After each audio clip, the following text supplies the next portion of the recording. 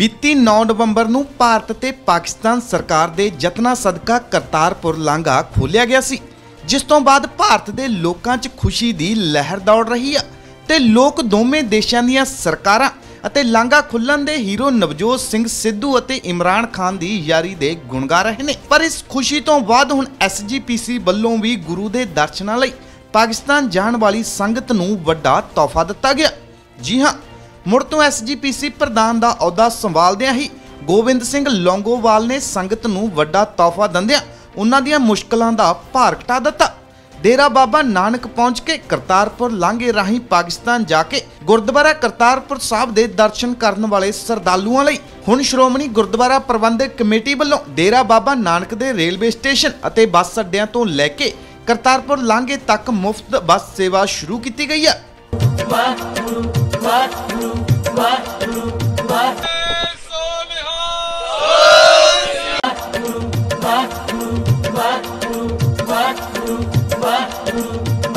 ਦੱਸ ਦਈਏ ਕਿ ਇਹ ਬੱਸ ਸੇਵਾ ਸਵੇਰ ਤੋਂ ਲੈ ਕੇ ਸ਼ਾਮ ਤੱਕ ਚੱਲੇਗੀ, ਜੋ ਸ਼ਰਧਾਲੂਆਂ ਨੂੰ ਸਵੇਰੇ ਲੈ ਕੇ ਜਾਵੇਗੀ ਅਤੇ ਸ਼ਾਮ ਨੂੰ ਵਾਪਸ ਲੈ ਕੇ ਆਵੇਗੀ।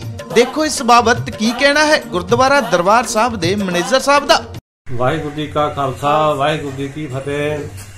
ਜੋ ਗੁਰਦੁਆਰਾ ਸ੍ਰੀ ਕਰਤਾਰਪੁਰ ਸਾਹਿਬ ਪਾਕਿਸਤਾਨ ਦਾ ਲਾਂਘਾ ਮਿਤੀ 9 ਨਵੰਬਰ ਨੂੰ ਖੋਲ੍ਹਿਆ ਗਿਆ ਸੀਗਾ, ਸੰਗਤਾਂ ਨੂੰ ਰੇਲਵੇ ਸਟੇਸ਼ਨ ਦੇ ਬੱਸ ਸਟੈਂਡ ਤੋਂ ਕੋਰੀਡੋਰ ਤੱਕ ਪਹੁੰਚਣ ਵਾਸਤੇ ਬੜੀ ਮੁਸ਼ਕਲ ਆਉਂਦੀ ਸੀ।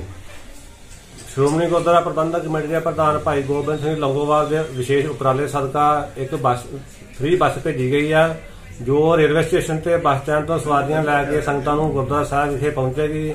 ਇੱਥੋਂ ਉਹਨਾਂ ਨੂੰ ਜਲ ਪਾਣੀ ਛਕਾ ਕੇ ਇੱਥੋਂ ਰਾਤ ਜਿਹੜੇ ਸੰਗਤਾਂ ਠਹਿਰੀਆਂ ਉਹਨਾਂ ਨੂੰ ਨਾਲ ਲੈ ਕੇ ਤੇ ਕੋਰੀਡੋਰ ਤੱਕ ਪਹੁੰਚਾਇਆ ਜਾਊਗਾ। ਇਹ ਤਕਰੀਬਨ 3-4 ਜਿਹੜੇ ਰੇਲਵੇ ਸਟੇਸ਼ਨ ਤੋਂ ਕੋਰੀਡੋਰ ਤੱਕ ਲਾਏ ਗਈ ਜੀ। ਸੰਗਤਾਂ 'ਚ ਬਹੁਤ ਖੁਸ਼ੀ ਪਾਈ ਜਾ ਰਹੀ ਹੈ ਇਸ ਗੱਲ ਦੀ ਜੀ। ਸ਼੍ਰੋਮਣੀ ਕਮੇਟੀ ਵੱਲੋਂ ਯਾਤਰੂਆਂ ਨੂੰ ਕਿਸੇ ਕਿਸਮ ਦੀ ਕੋਈ ਮੁਸ਼ਕਲ ਨਹੀਂ ਆਉਣ ਦਿੱਤੀ ਜਾ ਰਹੀ ਜੀ। ਇਸ ਫ੍ਰੀ ਬੱਸ ਸਰਵਿਸ ਤੋਂ ਬਾਅਦ ਲੋਕਾਂ ਦੇ ਚਿਹਰਿਆਂ 'ਚ ਖੁਸ਼ੀ ਦੀ ਝਲਕ ਦਿਖ ਰਹੀ ਹੈ। ਦੇਖੋ। ਇਹ ਤਾਂ ਜਿਹੜਾ ਸ਼੍ਰੋਮਣੀ ਕਮੇਟੀ ਨੇ ਇਹਦੀ ਬੱਸ ਚਲਾਈ ਆ ਬੱਸ ਸਟੈਂਡ ਤੋਂ ਤੇ ਸਟੇਸ਼ਨ ਤੋਂ। ਕਰਤਾਰਪੁਰ ਲਾਂਘੇ ਦਾ ਬਹੁਤ ਅੱਛਾ ਕਦਮ ਕੀਤਾ।